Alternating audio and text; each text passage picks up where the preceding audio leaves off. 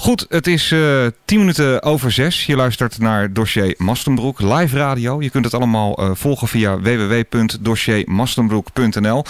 Wij behandelen allerlei uh, thema's, bijzondere verhalen en ook maatschappelijke kwesties. Um, want het zal je maar overkomen in dit geval. Um, ze zwerft al weken op straat in Pijnakker. Het is uh, de 30-jarige Gitta. Um, ze heeft een familieconflict uh, gehad en daardoor is ze op straat beland. Um, ja, kanttekening, we gaan het erover hebben, moeten we wel even maken dat, uh, dat haar ouders, waar zij tot voor kort in huis woonde, ja, niet kunnen reageren. Dus zo diep gaan we ook niet in op, op de kwestie. Ja, goedenavond Gitta. Goedenavond. Hi. Ja, er is veel gezegd en geschreven over uh, deze kwestie. Um, laten we eens bij het begin beginnen. Um, zonder uh, ja, direct jouw ouders daarin te gaan betrekken. Want die kunnen zich hè, nogmaals even niet verdedigen op dit moment. Maar waar is het nou in jouw ogen allemaal misgelopen dat je uiteindelijk op straat bent beland?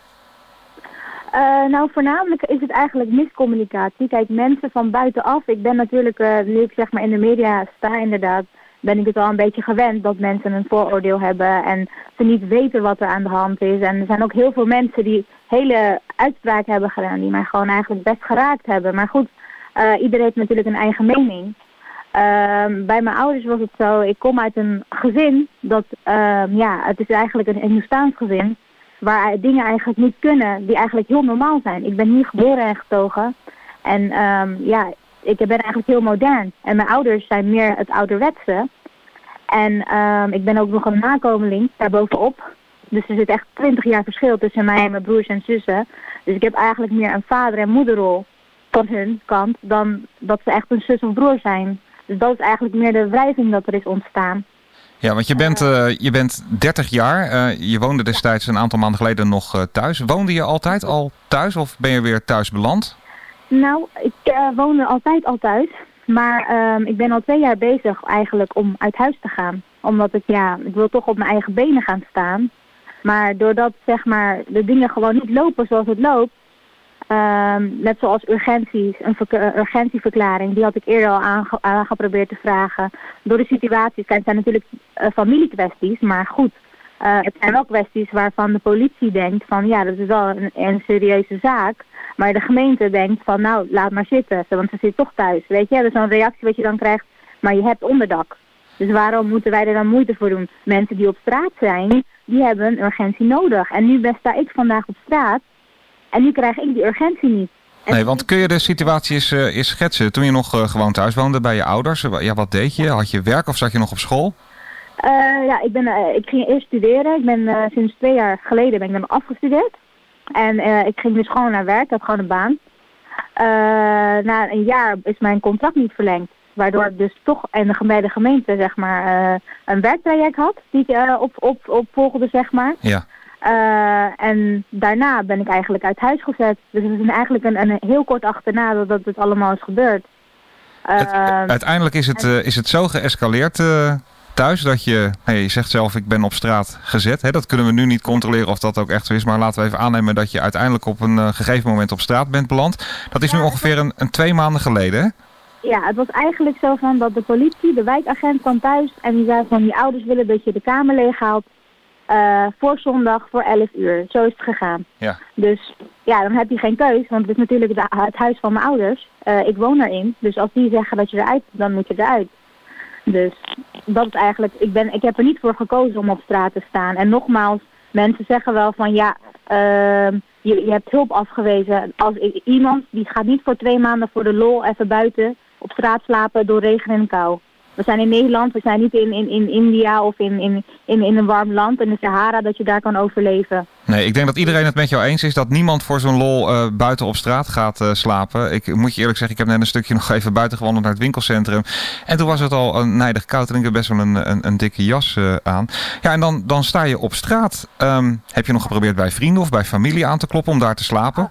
Als je, als je bij vrienden en familie, als je in problemen komt, dan is de wereld heel klein. Dan kan je je vrienden niet eens op... Te zeggen, je kan je vrienden op één hand tellen.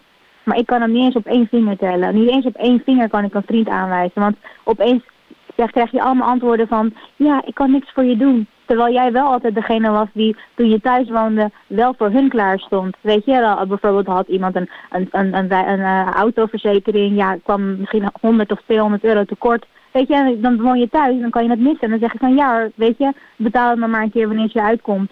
En dan sta jij op straat. En dan word je eigenlijk gewoon in de steek gelaten.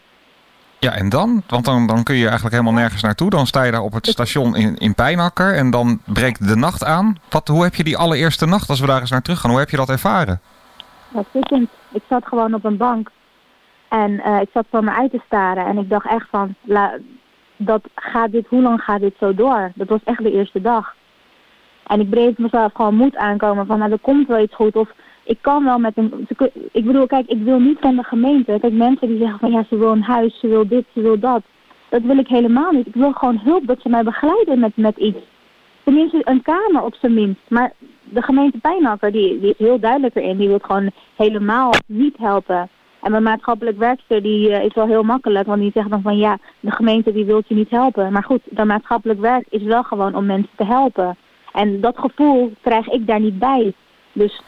Nee, want je hebt een aantal dagen uiteindelijk op, uh, op straat uh, geslapen. Dat heb je recentelijk ook nog gedaan. En toen ben je naar de, naar de gemeente toe gegaan. Want wat heb je aan ze gevraagd?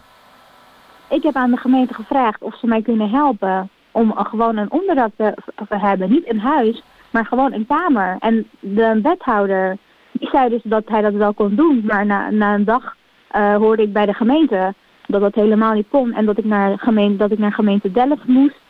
Uh, naar een dakloze opvang om een hele traject af te gaan. Ja, want dat is eigenlijk het, uh, wat, ze, wat ze continu herhalen. Hè? Dat ze zeggen van, uh, Jogita, als je ergens weer een beginnetje wil maken, dan moet je je melden. Dat is eigenlijk het enige dat we, dat we kunnen, kunnen doen. Dus je moet naar Delft. Ja. En dan moet je daar overnachten, minimaal drie nachten in de dakloze opvang.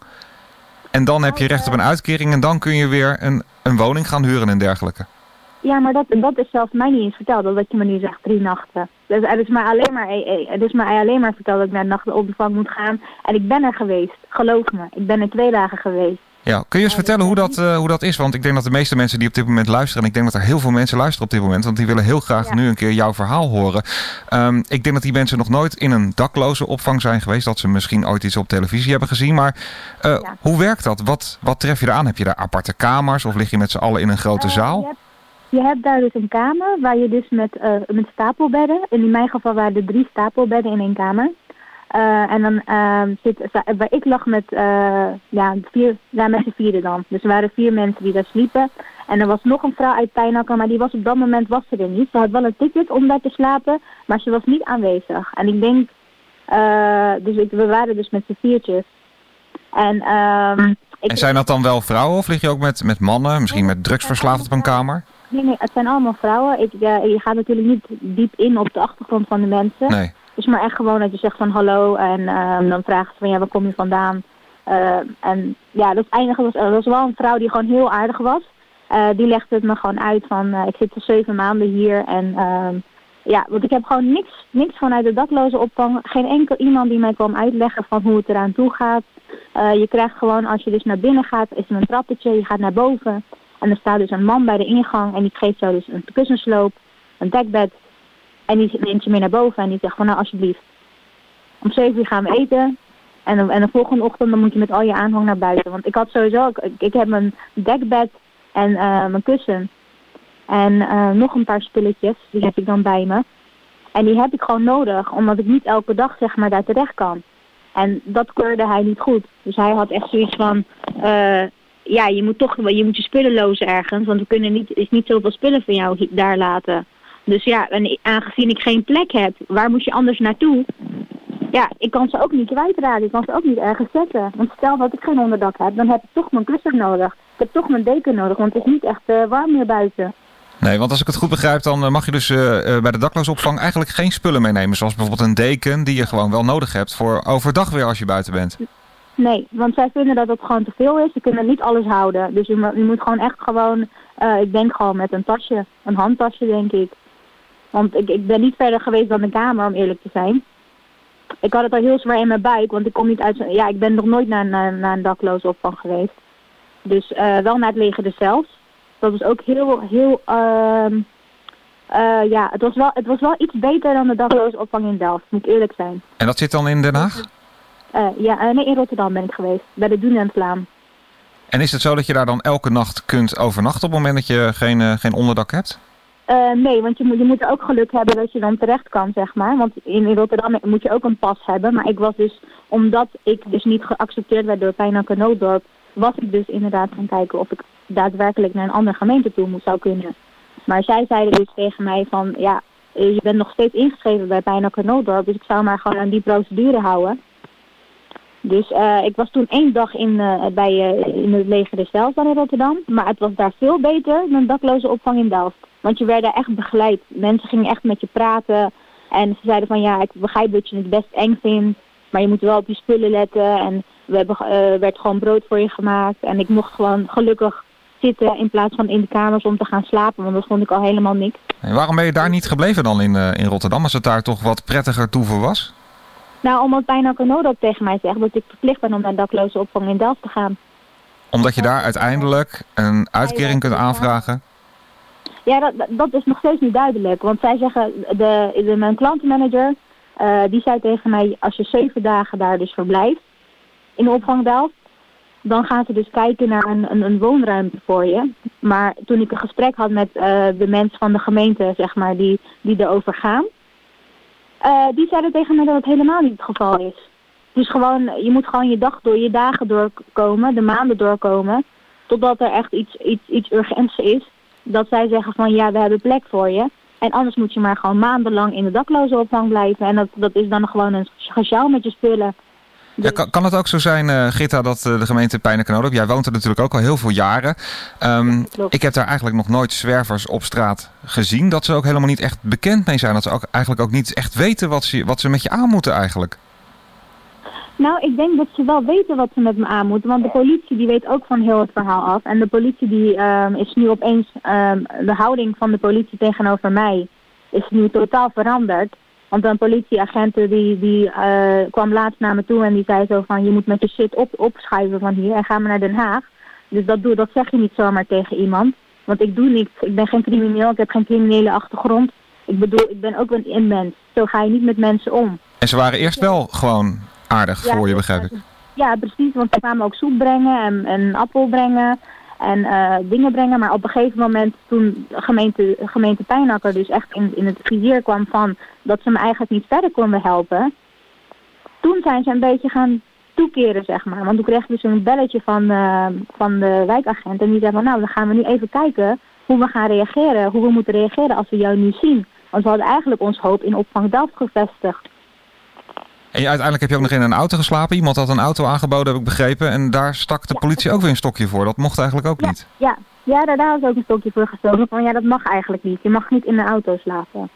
Heb je nou naar alles wat je is overkomen, Gitta, niet zoiets gehad van... Hè, ik heb ook wel eens een keer ruzie gehad met mijn ouders van... joh, hè, laten we het bijleggen, laten we met elkaar om de tafel gaan zitten... en misschien uh, is er dan weer een openingetje en mag ik misschien wel weer thuis komen slapen. Want ik neem aan dat jouw ouders het toch ook niet prettig vinden... dat hun dochter uh, op straat, op stations en in, uh, in parken plantsoenen slaapt. Ja, maar mijn ouders, mijn moeder en mijn vader die is er niet op dit moment. Die is met vakantie. Dus die, nou echt niet echt met vakantie, maar hij is een huis aan het verbouwen. Dus die is er niet. En mijn moeder die is er wel, maar met, met mijn moeder is het echt degene met wie ik dus eigenlijk een, een ja, akkefietje heb eigenlijk. En ik denk niet dat het verstandig is als ik dan toch naar huis ga. Kijk, dus, dus natuurlijk, het is wel een weg dat je naar huis kan. Maar om de manier hoe het is gegaan, kijk, dat doe ik natuurlijk niet op de, op de radio met jullie meedelen. Dat zou nee. ik wel misschien alleen uh, willen vertellen. Maar ja. het is niet echt uh, een prettige situatie om in te zitten, zeg maar, als je dan, als je dan terug zou gaan. Nee, dus dat is gewoon eigenlijk uh, uitgesloten, dat is geen optie? Ik heb wel contact met mijn moeder, ja. daar niet van, maar ik zou niet met haar in een huis kunnen... Nee, dat, dat, dat is gewoon uitgesloten. En zij vindt het ook onwijs erg dat dit, dit alles wat er gebeurt... De gemeente heeft ook contact met haar genomen en die heeft er ook heel veel dingen um, een beetje onder druk gezet. Van je moet je dochter uitschrijven. En tegen mij vertellen ze, ja je moeder wil je uitschrijven. Dus ze hebben dingen zitten verdraaien. En dan voel je je gewoon als, een, als mens, als, als een burger, voel je je dan gewoon echt gewoon, om eerlijk te zeggen, kijk het is wel de radio... Maar je voelt gewoon dat ze je gewoon met je spelen. Je voelt je dan gewoon echt een pop. Echt zo'n een, een, poppetje, die is, een, of, ja, een, een poppetje, een bal, die ze van her naar daar sturen. Want je gaat naar Delft, uh, Delft die heeft een commentaar op mijn spullen. En dan staat er wel, dan heeft, staat er wel Delft ja, er is altijd plek voor mensen in Delft. Het is niet dat we geen plek voor er hebben. Dus het is gewoon media, ze zoeken zelf ook media op om zeg maar toch uh, een beetje positief over te komen. Maar uh, de waarheid, dat blijf ik zeggen, dat is gewoon heel wat anders. En de gemeente Pijnakker weet heel goed waar ze mee bezig zijn. En ze, zei, ze, ze, had ook toen ik in Delft was, zei ook een van de medewerkers van de gemeente Pijnakker van uh, ons taak houdt hier op. Dus ze dachten dus dat ik me had uitgeschreven, wat niet het geval is, want ik sta nog steeds thuis ingeschreven en mijn moeder die weigert nu ook om me uit te schrijven. En um, ze maken een beetje misbruik van het feit dat ik eigenlijk zonder geld, zonder niks buiten sta. Dus zij willen mij een beetje een, een, een soort van, uh, als je naar Delft gaat, dan krijg je een uitkering. Maar een uitkering, daar krijg, kan je niet 1, 2, 3 een woning van krijgen. Voor mij is het op dit moment belangrijk om een woning te krijgen, zodat ik kan gaan werken. Zodat ik op mijn eigen benen kan gaan staan. En niet uh, dat, dat zij mij zeg maar zeggen, ja, van, van een uitkering, want daar wil ik het niet voor doen. Nee, want jij ziet jezelf eigenlijk al net als die mevrouw hè, die jou dat verhaal vertellen... misschien ook wel over zeven maanden nog steeds ja, in de dakloze opvang zitten. Inderdaad. Nou, er, zijn er, er was er nog een vrouw die zei, ik zit er al twee maanden. Dus dan denk ik van ja, uh, dus het gaat helemaal niet zo makkelijk als wat zij dus vertellen. Nee. Dus Uiteindelijk was je het uh, helemaal zat. Toen heb je zelfs een, uh, een advocaat uh, in de arm genomen. Nou lijkt me dat een beetje moeilijk ja. als je eigenlijk, hè, zoals je aangeeft, eigenlijk helemaal geen geld hebt. Hoe, hoe, nee, hoe deal je dat dan? Je belt zo'n man op en zegt, ja, ik ben Git, ik heb eigenlijk geen geld, maar ik heb wel een kwestie. Ja, je krijgt een to toevoeging, is een advocaat. Dus niet dat je zeg maar zelf, het wordt zeg maar wel vergoed. Ja. Tot een bepaalde hoogte. Maar mijn advocaat, die, die, had ik het dus, ik had dan, een, daarvoor had ik een andere advocaat. En die heeft dus naar heel de situatie gekeken en die was nog niet gespecialiseerd op deze vlak. Dus zij heeft toen voor me verder gebeld naar een collega van haar. En die zei van ja hoor, laat maar komen. Dus ik was diezelfde dag gelijk doorverwezen naar een andere advocaat. En ik heb hem het hele verhaal verteld. En hij zei ook tegen mij van dit, ja, dit wat er gebeurt, dit is gewoon niet menselijk. Zo ga je niet met iemand om. En, en mijn vorige advocaat heeft een half uur in de wacht gestaan. En gevraagd naar mijn klantmanager, mijn case manager, die er toen nog was.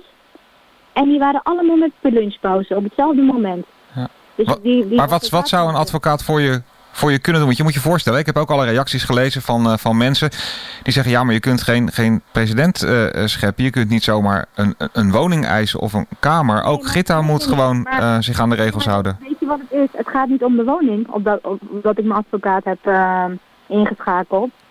Toen ik uit huis ben gezet, krijg je van de gemeente drie maanden de tijd om een ander adres of een andere woonplaats uh, aan te kunnen krijgen.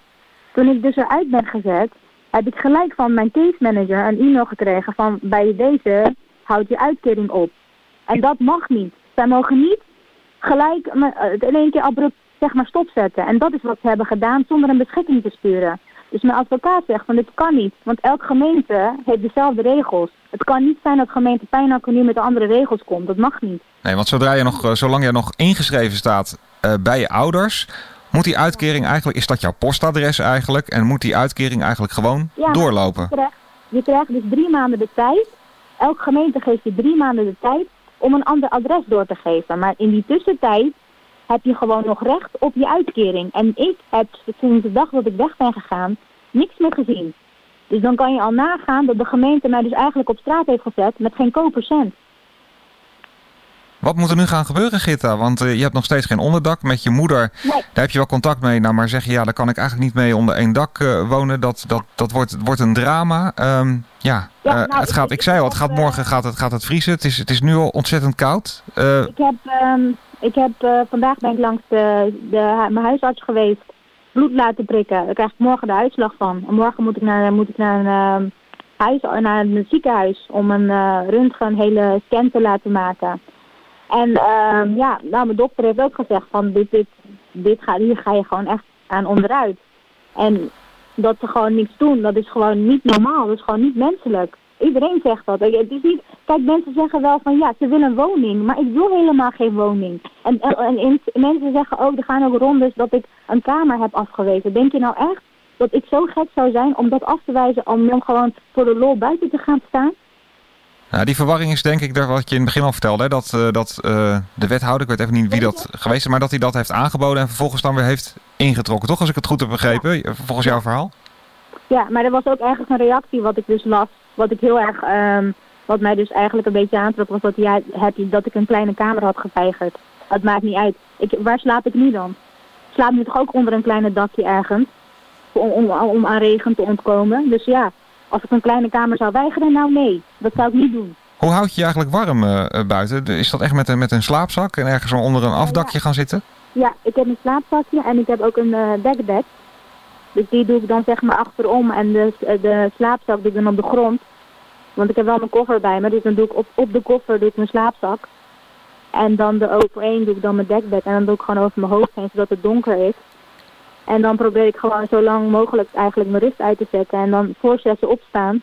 Want anders uh, zijn natuurlijk mensen die gaan natuurlijk naar werk en zo. En het staat ook raar dat ze me dan zeg maar op straat zien slapen. Dus ik ben elke dag eigenlijk om zes uur al op.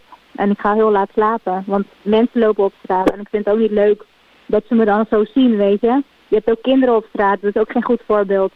Dus ik wacht gewoon echt tot het helemaal rustig is. En dan... Uh, ik kan me dat wel voorstellen dat er ook wel schaamte bij, eh, bij komt kijken inderdaad als je op straat slaapt. Zijn er ook mensen die jou aanspreken en jou misschien op weg willen helpen? Of je, je eten geven en dergelijke? Ja, er zijn mensen in de buurt die mij inderdaad zien. En er zijn ook, er zijn ook mensen met wie ik zeg maar wel contact heb. Want dan ben ik bij de bibliotheek en dan kan ik wel eventjes nog op internet dan even mijn e-mail checken met, wat, wat de, met mijn advocaat of iets. En dan uh, kijk ik wel regelmatig naar de Facebook uh, en dan zie ik wel dat mensen dan zeg maar uit de buurt me een berichtje hebben gestuurd van uh, waar ben je, ik zie je niet, waar sta je nu? En dan komen ze wel eventjes met brood of met koffie of thee. En er is ook een, een, een heel aardige mevrouw bij de bibliotheek om de hoek waar ik mijn spullen even kan laten als ik naar de bibliotheek ga. Want de bibliotheek die stelt ook niet zo echt op prijs als ik met al mijn spullen naar binnen ga. Ik vind het een beetje eng. Dus uh, ja, dus dat is ook wel een punt waar dan waarvan ik denk van er zijn mensen wel behulpzaam in, in, in die opzicht, zeg maar. Want ik, ik kan me ook voorstellen als je, als je s'nachts uh, als, als vrouw zijnde uh, op straat slaapt, dat het ook best wel, uh, je zegt hè, s ochtends gaan mensen naar hun werk, maar ook, ook s'nachts zijn er mensen actief lopen over straat. Is het ook niet ontzettend angstig. Kun je überhaupt slapen als je buiten ligt? Ja, weet je, wat ik, weet je wat ik altijd zei toen ik in mijn ouderlijk huis was? Ik zei altijd van, uh, als er iets is waar ik bang voor ben, dan is het gewoon dat ik bang ben dat ik op straat ben. Dat ik, dat ik, dat ik geen huis heb, dat ik niks heb, dat ik gewoon met niks op straat sta. Ja. En vandaag sta ik er en dan is, dit, dit, dit, dit was mijn angst. Maar ik, ik, vandaag sta ik op straat, dus niks is eigenlijk meer wat mij gewoon bang maakt. Want dit, dit, is me overkomen. Er is niks meer wat, niks ergens wat mij kan overkomen dan dit. Nou geef je aan, uh, Gitta, je zegt, uh, mensen zeggen van ja, ik heb dat afgewezen en ik wil dat, maar dat wil ik dan weer niet. Kun je nu, nu eens uh, één keer duidelijk uitleggen wat je nou eigenlijk van de, van de gemeente, van de, van de hulpinstanties eigenlijk verwacht? Wat zou je nou het liefste willen vandaag nog? Ik zou, willen dat ze mij, ik zou willen dat ze mij op de weg zouden helpen. En dat ze eventueel samen met mij zouden kijken voor een kamer. Dat, dat, ze mij daar gewoon mee steunen. In plaats van dat ze tegen mij zeggen, ga, naar, ga eerst naar de daklozenopvang. Want vanuit de daklozenopvang moet ik ook naar een kamer gaan kijken. En die traject wat ze bij de daklozenopvang hebben, dat heb ik helemaal niet nodig. Want ik, ik wil gewoon, ja, dat ik gewoon een onderdak heb en dat ik gewoon aan het werk kan. Ik wil gewoon, ja, gewoon mijn leven weer oppakken. Snap je? Kijk, als je naar een daklozenopvang gaat, dan ga je een heel traject in.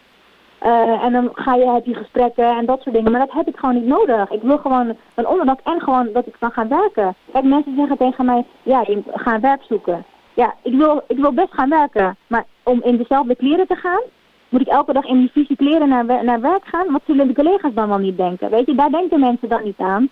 Uh, ik kan niet douchen, ik ben op straat, hallo. Weet je, gaat er wel wat rinkelen bij ze. Gaan ze zoeken werk, tuurlijk. Als ik een onderdak heb, kan ik werk zoeken, inderdaad. Dan kan ik gaan, dan kan ik douchen, dan heb ik tenminste een onderdak. Dan weet ik van als ik van werk kom, dat ik op bed kan liggen in plaats van op straat. Maar dat is niet voor, voor mij weggelegd op dit moment. En dat zien mensen niet in. En dat vind ik erg. Weet je dat er geen enkel medeleven is van mensen die zulke reacties plaatsen. Want stel jezelf nou eens voor dat jij in, in, in, in twee maanden in dezelfde kleding rondloopt. Hoe zou jij dat vinden? Ja, ik heb er wel een antwoord op. Ik zou dat verschrikkelijk vinden. Het regent, je kleren worden nat en je kan je niet eens omkleden. Je moet naar de wc midden in de nacht en er is geen toilet. Wat doe je dan? Ja, je moet wel. Weet je, dat zijn dingen waar, waarvan ik denk van, dan ben je als, als mens, weet je. Ik, toen ik zelf naar school ging, toen ik studeerde naar de universiteit en toen ik dus naar werk ging, dan was er ook altijd, waren er ook mensen bij de Centraal Station dan.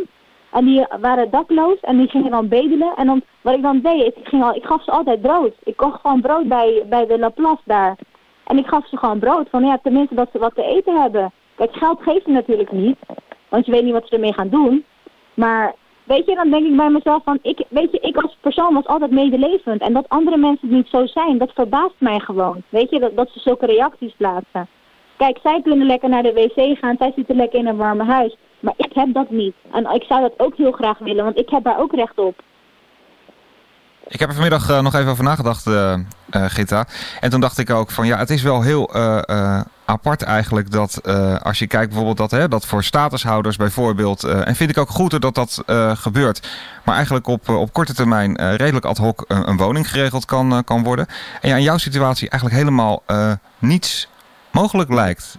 Uh, dat, dat doet ook een beetje, dat, dat uh, zorgt ervoor dat het draagvlak ook voor, voor uh, statushouders bijvoorbeeld in de gemeente toch wel weg hebt. Ik heb vandaag bijvoorbeeld gezien dat er een, een drukke verbouwing aanstaande is in een, in een jeugdhonk. Um, als je bijvoorbeeld kijkt naar het Hofland en als je uit Pijneke komt, specifiek uit Pijneke, weet je wel een beetje welke locaties dat zijn. Dan denk ik ja, natuurlijk kun je niet voor iedereen zomaar knippen met je vingers en een kamer regelen. Maar ik denk ja, in dit specifieke geval zou er toch iets geregeld moeten kunnen worden, toch? Ja, ja dat klopt. Inderdaad. En mijn advocaat is, ook, is daar ook gewoon heel, heel, heel sterk. En die zegt ook van de gemeente heeft altijd wel iets achterhand liggen. Het is dat ze gewoon de moeite er niet voor willen doen en dat ze je gewoon niet willen helpen. Maar er is wel altijd wat hoor, wat, wat, wat bij de gemeente geregeld kan worden. Maar het is gewoon dat ze me niet willen helpen en zo ervaar ik het ook. Want als, je dus, als ik er dus ging, dan was het ook echt van... Ja, sorry, je moet naar de gemeente Delft. En als je naar gemeente Delft gaat, ga je hetzelfde traject in. Moet je ook gewoon een paar dagen daar blijven en dan moet je van daaruit een kamer zoeken. Ja. Dus een, woning, ik vraag niet eens een woning, ik vraag om een kamer, weet je. Het is niet dat ik een woning nodig heb. En dat geld, die uitkering wat je dan nog krijgt, daarvan wordt het ook zelf betaald. Het is niet dat de gemeente dat voor me gaat betalen. Nou, je hebt de eerste weken heb je, heb je op straat uh, geslapen. Um, uh, toen heb je nog geen contact gehad met, uh, met, met media, met kranten, met radio en dergelijke. Dat is later gekomen.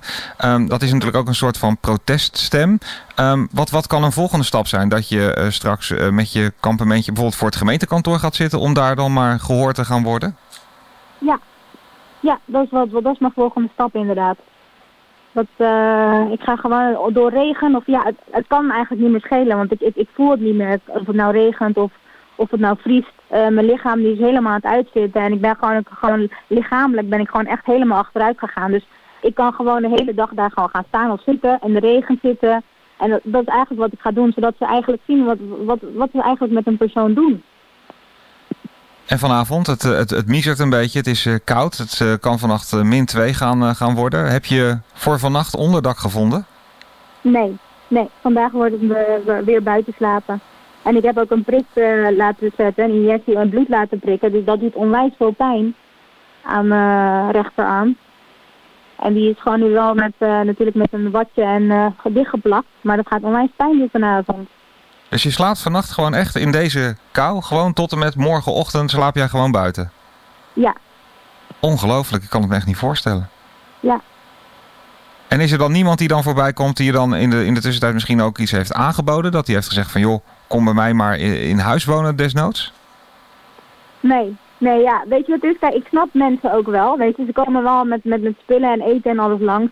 Maar het is, het is logisch dat je niet iemand zomaar in huis neemt. Dat, dat, dat, dat is gewoon, wel, gewoon logisch. Weet je, de mensen hebben een gezin. Ik snap hun situatie ook en ik stel het gewoon heel erg op prijs dat ze gewoon al eten brengen en drinken brengen. En dat ze gewoon vragen hoe het gaat om, om, om de 1, 2 uurtjes, weet je. Dan voel je tenminste dat er iemand op je let. In plaats van dat je eigenlijk een beetje vergeten bent. Want dat ben ik wel door de gemeente. En dat ben ik wel door de politie. En dat ben ik wel door de maatschappelijk werker. En die mensen hier in de buurt, die geven toch nog het gevoel dat ze wel op je letten. Gelukkig dat die er dan uh, toch voor jou zijn en daar dan eten en drinken in elk geval komen, komen brengen. Wat zou je, wat zou je tot slot, uh, voordat ik je echt ontzettend veel sterkte ga wensen, want het is eigenlijk absurd dat je vannacht gewoon uh, buiten moet slapen. Even los van het feit, hè, alle vooroordelen, wat nou precies je voorgeschiedenis, of je nou wel of niet terug kan naar je ouders, of je nou wel of geen kamer wil, of dat het is aangeboden of niet. Eigenlijk alles op de grote hoop gegooid. Is het eigenlijk uh, belachelijk dat in een welvarende gemeente als Pijneke-Noodorp er niet, hè, hoe, het ook, hoe ook de vork in de steel zit, er niet een oplossing kan komen in dit verhaal. Nee. Dat vind nee, ik nee, die is er, echt absurd.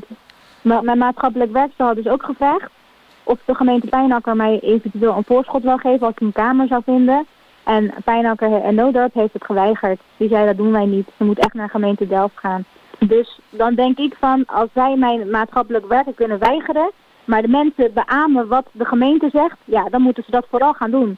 Maar ze, ze moeten één ding wel beseffen. Vandaag waar ik sta, ik hoop dat mensen daar nooit in zullen voorkomen in zo'n situatie. Maar als zij daadwerkelijk in zo'n situatie zullen staan, dan zul ik, wil ik ze wel vragen hoe zij eruit gaan komen. Laten hun dat hun zelf eens afvragen. Als zij op straat staan en zij staan alleen en zij staan buiten, dagenlang. Ze zien, ze zien geen huis, ze hebben geen dak boven hun hoofd. Wat zullen zij dan gaan doen?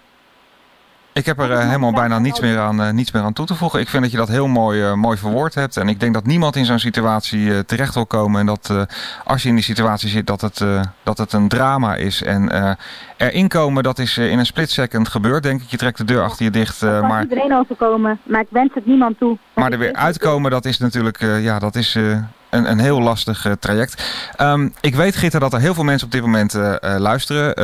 Uh, mensen die daar ook een oordeel in hebben. Dat kan ook in dit geval een, een positieve zijn. Hè, als ze jouw verhaal nu uiteindelijk een keertje helemaal van A tot Z goed hebben beluisterd. Um, als ze jou willen helpen uh, uh, op juridisch vlak, eventueel met, met huisvesting, noem maar op. Want je slaapt gewoon, dat is gewoon een keihard gegeven vannacht gewoon buiten. En nou goed, dat wil helemaal niemand. Dan wil ik mensen erop wijzen dat ze met mij contact op kunnen nemen. En dan zet ik al die berichtjes en telefoontjes en dergelijke naar jou door. Oké. Okay. Zullen we dat afspreken? Ja. Oké. Okay. We houden contact en ik wens je voor de komende nacht ontzettend veel sterkte. Dankjewel, Gitta. Ja, bedankt. Oké, okay, daar.